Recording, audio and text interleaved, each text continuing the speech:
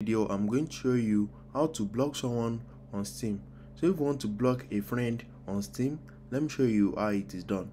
The first thing is open up your browser and you need to search for store.steampowered.com right here log into your account and you need to take your mouse to your name right here.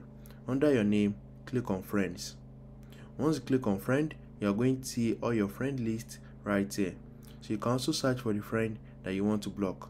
So just click on manage friend list right here and you need to select the person that you want to block.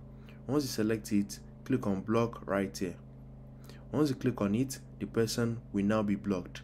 So if you want to see all your blocked list just come to this place and click on blocked. So you are going to see all the people that you have blocked. And if you want to unblock someone on steam just click on manage blocked list and once you click on it select the person and click on unblock. So that's it. If you found this video helpful smash the like button and subscribe